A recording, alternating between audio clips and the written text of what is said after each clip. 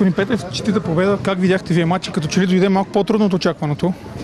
Аз ви казах преди, а, още предната седмица, че матч ще бъде труден. Жалко е, че не успяхме да вкараме гол още през първото по време, но така като цяло не е лош матч за нашия отбор и това, за, това, за което излязохме, го спечелихме. Те- Това беше трите точки. Макар и победа срещу по-слаб съперник, дава ли спокойствие, особено след а, седмицата, която имахте преди това и след загубата от Турция?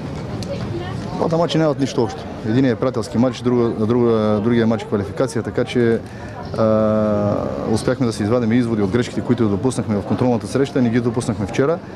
М, така съм доволен от, от представянето на нашия отбор. Спечелихме три точки, вече така концентрацията не пада върху следващия матч. Някои от играчите споделиха, че са били разочаровани от техния адрес след загубата от Турция. Имаше ли някаква допълнителна мотивация за да бъде постигната победа вчера? Ние сме българи, наясно сме, когато загубим един матч, а, какви са последствията и когато спечелим един матч. Естествено, говорихме доста. Важното е, че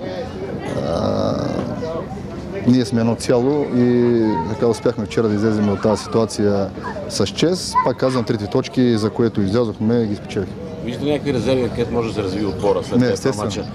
Защото предстоят важни мачове срещу Азербайджан и Норвегия и вече имате шанс да бараш. Къде Естествено. са резервите в български отбор? Не, определено ние не сме изиграли някакъв а, супер матч. Напротив, имаме още какво да, а, върху какво да работиме, но с оглед на това, че футболистите до голяма степен а, са изтощени както физически, така и психически, така, събрахме сили и, изиграхме не лош матч вчера.